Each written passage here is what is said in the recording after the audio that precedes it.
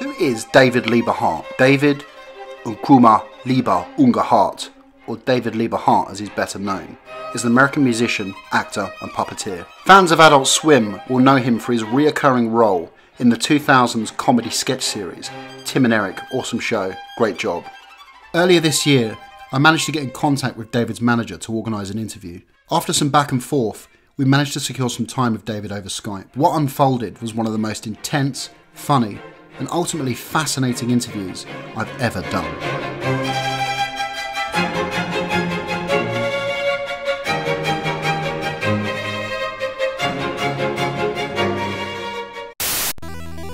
Firstly, if you're expecting David to be anything like his on screen character, you're absolutely right. So, where to start? David clearly has three passions music, trains, and what he calls Christian science. Whatever we spoke about eventually ended up coming back to one of these three subjects. So, to start with, this is what David had to say about his time working with Tim and Eric.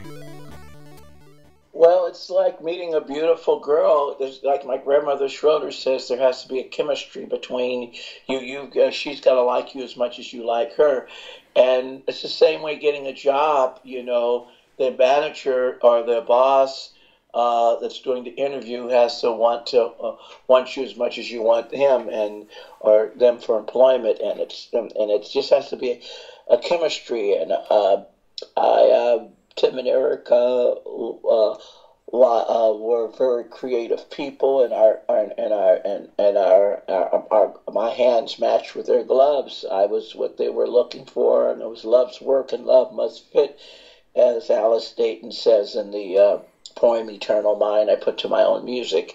It was a it was a perfect fitting, and I've been working on and off with them for twelve years. In fact, there's a new show I produced with them, and I'm in as an actor. And the first time I got hired, um, Tim and Eric would have me write comedy lines off and on with them, but they hired me for the first time as a produ- uh, as a co-producer to do a show called I Love David, um, and it's an Adult Swim show, and it's going to show my show, it's going to show Tennessee Luke's show, um, and it's going to show uh, uh, reruns of all the uh, Adult Swim shows that Tim, uh, absolutely production Tim and Eric have ever produced. So it's going to be a lot of fun. And when I first uh, was interviewed, uh, there was th- three other African Americans that were being interviewed by Tim and Eric.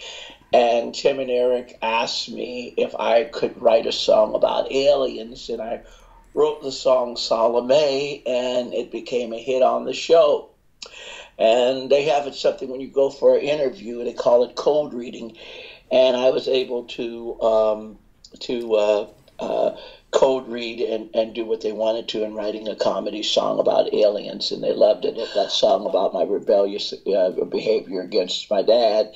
And then puberty i wrote a song about growing up with puberty.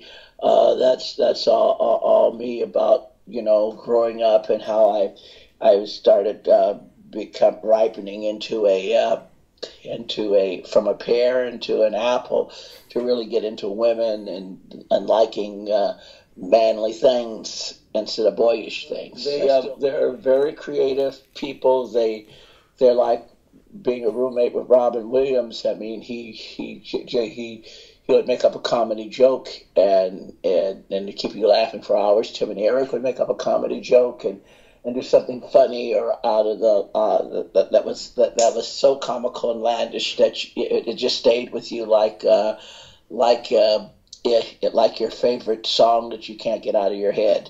They're they're just they're just uh, natural hams and natural comedians. They're natural uh, gifted comedians, uh, natural good writers. I love the Snow Show I did with Tim and Eric. I love the Salome song I did. I love the Stay in School and Stay Focused. I did. Um, uh, uh, wow, I, I love touring with them for the for five years, doing stand up comedy and my own music, and I uh, I. Uh, uh, I just uh, I, I love the I wanted I, I love the the moments that I got to work with them, and I love the moments when I got to work with John C. Reilly as well. So when you when you did the Tim and Eric show, obviously this introduced you to a new audience that, from my understanding, you, you never really had access to before. What was it like being propelled into that audience and now having this sort of uh, fame amongst the internet community or the you know a new generation of fan. Created something that I've worked for. I um, I'm in my 60s. I don't look my age because I don't smoke or drink or do drugs, but I have a sweet tooth for beautiful women, like any guys do.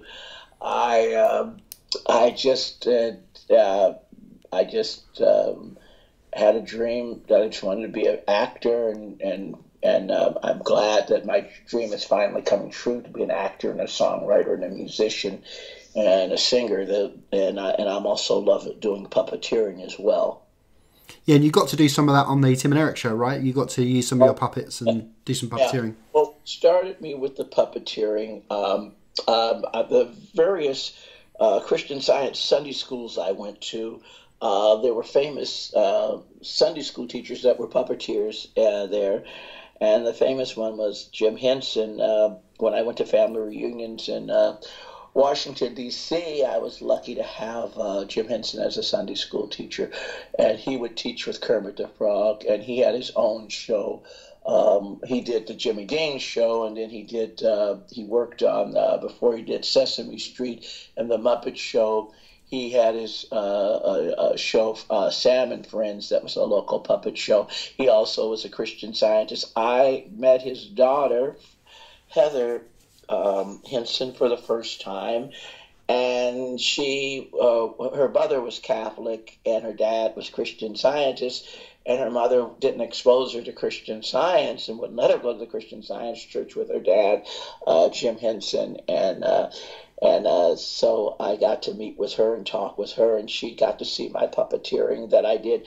They, um, I, I haven't been paid for it yet, but um, um, the uh, college in uh, in uh, New Haven, Connecticut, wanted to acknowledge famous black puppeteers in Springfield, um, uh, uh, uh, New Haven, Connecticut, at the college, and so I went there and did a show in January. But I uh, and I got to meet two other famous African American puppeteers, and it was a lot of fun. And it was a puppet museum there and I'm waiting for Mr. Martinez to finally pay me. All in all, David was really interesting, and you can listen to the full 30 minute interview via the link in the description. Although he came across as slightly embittered, David is driven by his love of entertaining others. You can see why he was such success with his work with Tim and Eric. David is a true eccentric in every sense of the word. He kind of reminds me of Daniel Johnston. Those who get him really get him, and those who don't, he doesn't really give a shit.